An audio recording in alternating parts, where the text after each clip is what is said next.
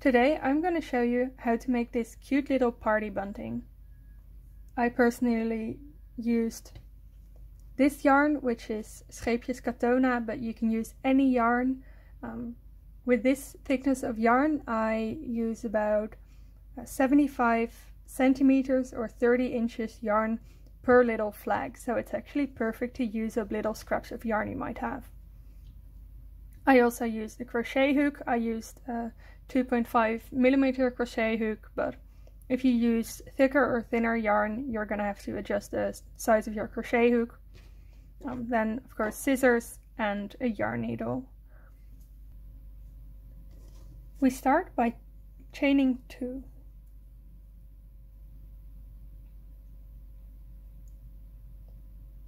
Then in the first loop, so the second from uh, from the hook. We single crochet two times. One. And two. Then we chain one. Turn our work around. And then we do in the the first stitch stitch we do an increase. One, two, and then in the other we do a single crochet. One. Then we do chain one, turn around. And now again we're going to do an increase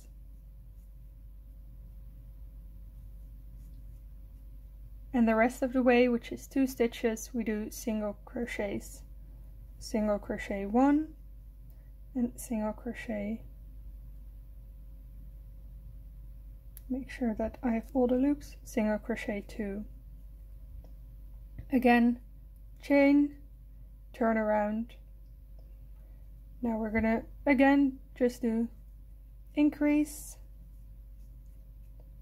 and then single crochet the rest, which here is single crochet 3.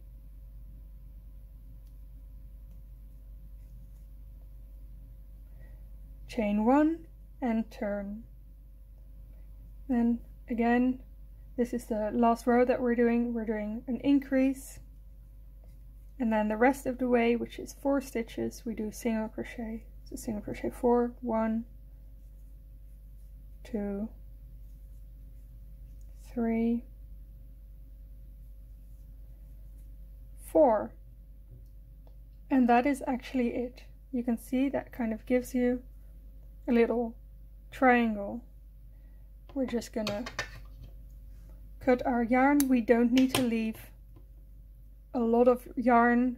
No, I just do a few centimeters like this. We end it and we have one part of our little bunting. When I'm finished uh, like this, I immediately like to kind of weave the yarn in. What I do, I just take my uh, take my bunting and I try to kind of get some loops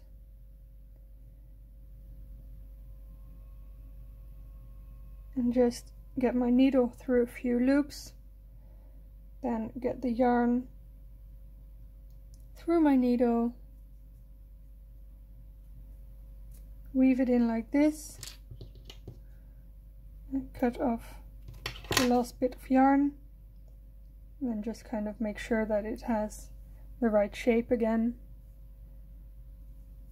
I'm going to do the same with this get the needle through some of the loops.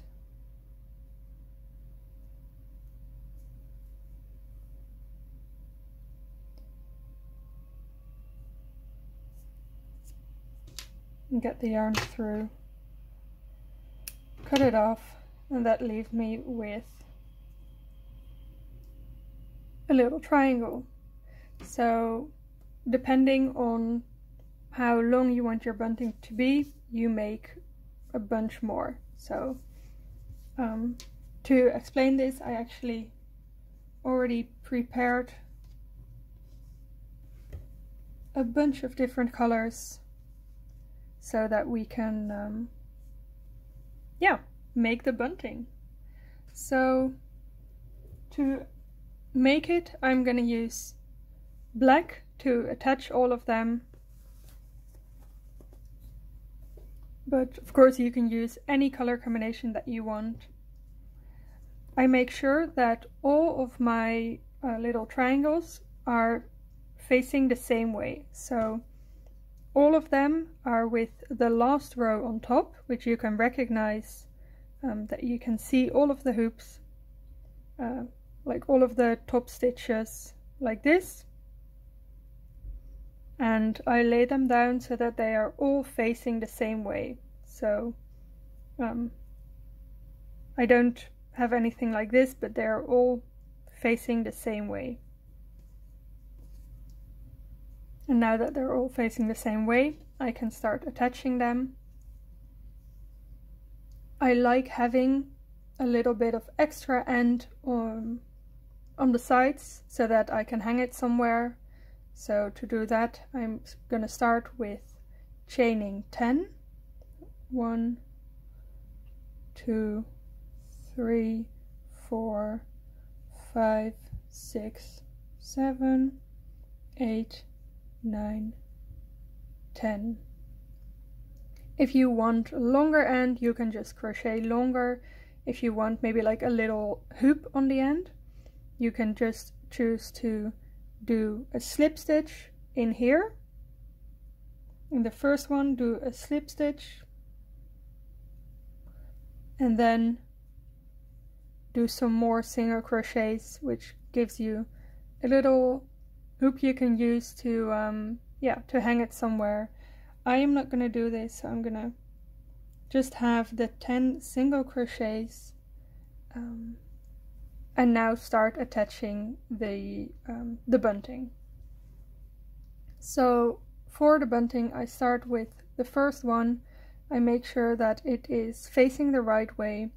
And in these uh, in all of these top stitches I'm gonna do a single crochet. So it's gonna be six single crochet. I'm gonna start in the first single crochet one two three four five and six. So now this is attached to the main bunting. Before doing another one, I want a little bit of distance between the triangles, so I'm gonna single crochet five.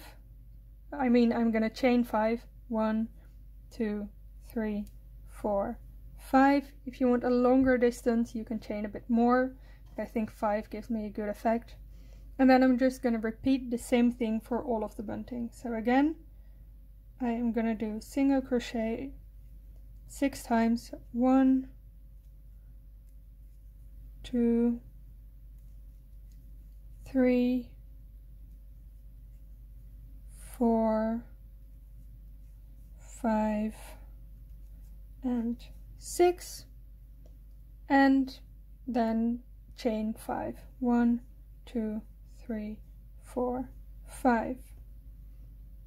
So as you can see, that way you get your bunting. I'm just gonna um, continue the rest like that and then get back to you on how to do the end.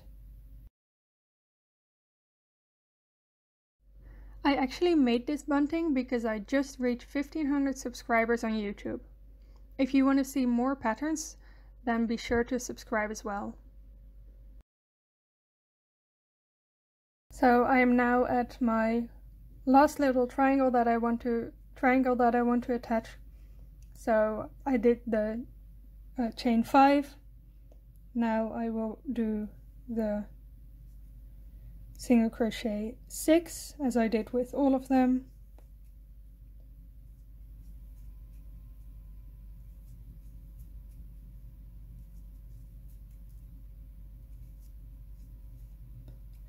and to end it I am just gonna uh, just like at the start I am gonna be doing uh, chain 10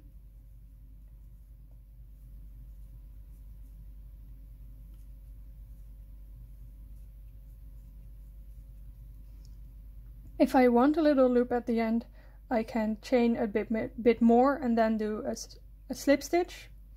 Um, and that gives you a little, uh, a little loop to end it. I don't want that, so I'm just gonna end it here. Cut the yarn and then through. And that leaves me with this cute little bunting. So you can see everything is attached to each other and yeah, I think it looks really cute and you can make them in loads of different colors. Um, yeah, if you lay them down, they look kind of zigzaggy, but if you if you hang them up, then yeah, gravity is gonna do the work for you, and they um, yeah, they just look uh, looks great. So I hope you have fun making this bunting. If you like tutorials like this, be sure to subscribe to my channel and I'll see you again. Bye!